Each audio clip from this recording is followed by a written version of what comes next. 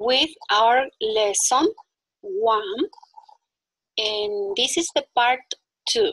Okay, so now I will share the material. Voy a compartir con ustedes la segunda parte de nuestra lección 1 que estamos estudiando eh, desde ya este día. Entonces, habíamos dejado en la primera parte sobre los numbers y dijimos zero también que sería Z-E-R-O, zero, Z-E-R-O, cero. Y tenemos 1, 2, 3, 4, 5, 6, 7, 8, 9, 10. Y ahora vamos hacia abajo para conocer un poquito más sobre algunos usos. Tenemos, por ejemplo, números y objetos. Entonces, sandwiches. And we count and we find that there are 10 sandwiches. Y decimos, hay 10 sándwiches. There are 10 sandwiches. Y aquí, there are two books. Vamos a poner number two aquí. There are uh, one, two, I think there is five. Y con este sería seven. Seven bags. 1, 2, 3, 4, 5, 6, 7, 8, 9. Y con el ejemplo era el pieza. Se cuenta también el ejemplo. Ok, computers. 1, 2, 3, 4, 5. 5 computers. Houses. 1, 2, 3, 4. 4 houses. There are 4 houses. Hamburgers. 1, 2, 3, 4, 5, 6, 7. 7 hamburgers cameras. There are one, two, three, four, five, six, seven, eight cameras. Vamos a mirar un poquito más abajo. Photographs. One, two, three, four, five, six, seven, eight, nine photographs. Nine. Cars. One, two, three.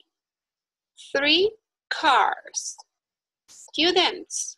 One, two, three, four, five, six, seven, eight, nine, ten.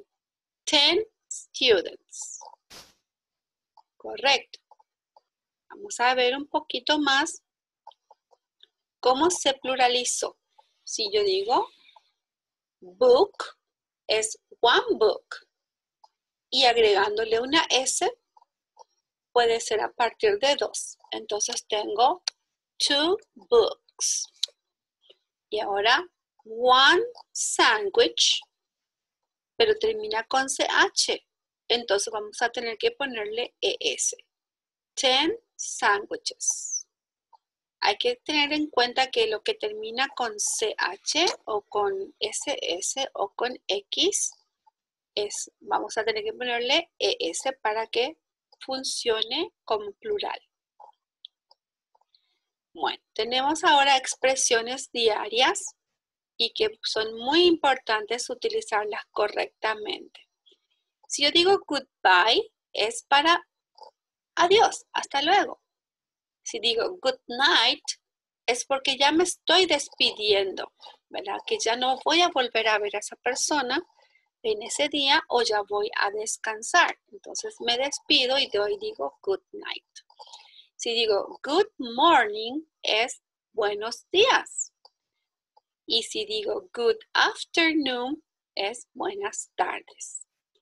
Siempre eh, al llegar en un lugar también se puede decir la expresión good evening, que es buenas noches cuando estás llegando.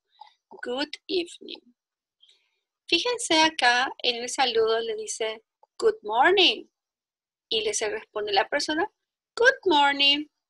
What a nice day. Buenos días. Y le dice el otro buenos días. Qué lindo día, dice la persona. Y acá puede ser que le dice goodbye. Bye, see you later. Adiós, adiós. Nos vemos después. Entonces usamos goodbye. Aquí, sin embargo, la persona está llegando en un horario de la tarde porque dice, hello, a cup of tea, please. Una taza de té, por favor. Y puede decirle, good afternoon. Aquí, buenas tardes. A cup of tea, please. Y acá la persona dice, good night, sleep well. Buenas noches, duerme bien. Por consecuencia va a decirle, good night. Good night, good night. Sleep well. Yo también suelo decir, sweet dreams. Buenos, dulces sueños, sweet dreams. Bueno, vamos ahora a la práctica que vas a tener que hacer.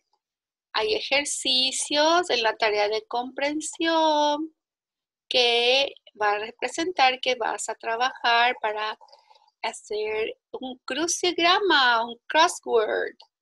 Aquí tienes, por ejemplo, cada palabra en el espacio correspondiente y si digo across, quiere decir de manera cruzada. Y si digo down, es de manera hacia abajo. Es prácticamente el mismo vocabulario que estuvimos usando, pero también puedes usar un buen diccionario para utilizar y completar. Correcto. Vamos ahora a la práctica con números. En esta sección puedes escribir este, abajo, incluso tú puedes hacer unas líneas y completar los numbers de acuerdo a la imagen. Entonces ahí tenemos 10, 7, 2, 9, 4, 4 floor, 6, que es el 6 de marzo, March the 6, 3, 1, escribiendo los numbers. Y aquí dice circle the correct answer. Circula la respuesta correcta. Hello, Alice. I'm very well. Hi, John. Entonces, si una persona te dice hola, lo mejor es que tú le respondas hola. How are you, Alice? ¿Cómo estás, Alice? Si yo te pregunto eso, tú me puedes responder, I'm fine, thanks. Porque nice to meet you es gusto de conocerte. Ahora aquí, nice to meet you, gusto de conocerte. Y ahí es mejor contestarle, nice to meet you too. Gusto de conocerlo también, dice. Bien, vamos viendo en esta sección el uso de la despedida. Dice goodbye. Adiós. Bye. See you tomorrow. Adiós, nos vemos mañana. Entonces, este es el saludo para cuando ya te vas y vas a verlo mañana recién. Otra expresión, what's this in English? ¿Qué es esto en inglés? Y siempre es ideal contestar con la estructura de un sujeto, un verbo. Entonces acá está it, que representa para la idea de los objetos neutros, que es it, él. O eso es un libro. It's a book. Toda vez que sea singular voy a usar esa expresión, pero si es plural voy a decir what's, what are those, o what are those in English, o what are these in English. They are va a ser la respuesta. También vas a tener una tarea adicional para completar tus ejercicios y están ya dispuestos en nuestra plataforma que pueden bajar para practicar. Buenísimo. Con eso daríamos final del contenido y ahora solamente vamos a orar en inglés, así como oramos al inicio de nuestra lección en primera clase de conferencia y este, oramos agradeciendo a Dios por esto. Y decimos entonces, Thank you, Father, for your help today. in my studies. Thank you for what you are doing for me and my and uh, my friends. Thank you for my health. Thank you for my family. Thank you for the church. Thank you for our pastors. Thank you for the institute. And thank you for everything. We thank you so much for our country and your provision of a good rain to stop any um, problem with fire. We thank you so much, Lord. Stay with us and we rest all the evening in your protection. In the name of the Lord Jesus Christ. Amén.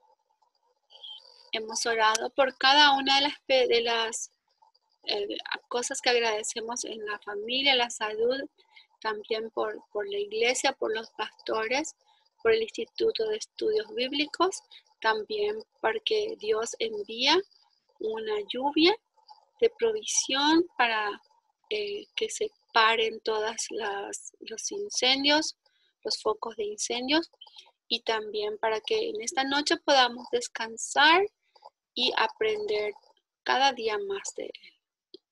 Bueno, que Dios les bendiga. God bless you. Goodbye.